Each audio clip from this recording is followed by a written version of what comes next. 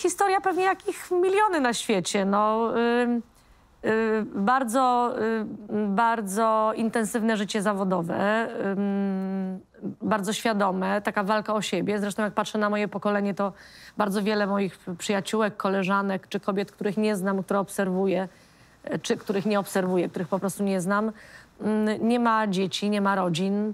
No to był też wynik pewnych czasów, ale też no pewnych y, naszych pewnie charakterów, takich kobiet bardzo samodzielnych. U mnie faktycznie no, ta kariera mnie pochłonęła w ogromnym stopniu.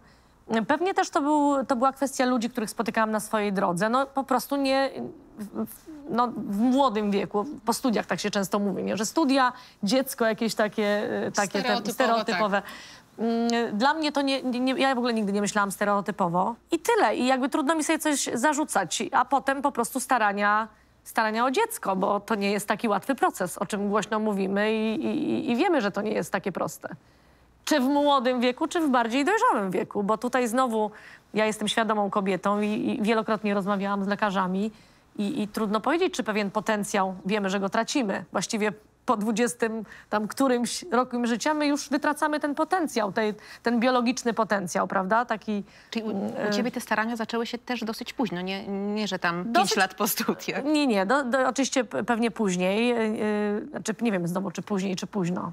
Jasne. Po prostu w moim momencie. W którym I- uznałaś, że jesteś w którym gotowa uznałam, na to, żeby że być jestem mamą. gotowa, dokładnie. Też, też no, jestem w związku, w, w którym jakby czułam, że to już jest ten moment, kiedy, kiedy y, jest idealny moment na to, żeby ta rodzina była pełna, że ja jestem spokojna, spokojniejsza, zdecydowana, mogę temu dziecku dać, mogę mu świata Też przychylić. już zawodowo bardzo dużo osiągnęłaś, Kasiu. E, tak, też jakby myślę, że to jest ten, no właśnie ten timing, mój timing. I ja mam ten timing teraz. Wszystko się złożyło dobrze. To mogło się zdarzyć wcześniej, ale się nie, nie zdarzyło i, i, i, i z tym się wszystkie, wszystkie no bardzo wiele kobiet, y, y, kobiet boryka. E, I, y, no i, i- w pewnym momencie podjęłam taką, taką decyzję. No jestem tą szczęściarą, że mi się naprawdę, że mi się naprawdę udało. To też był wysiłek.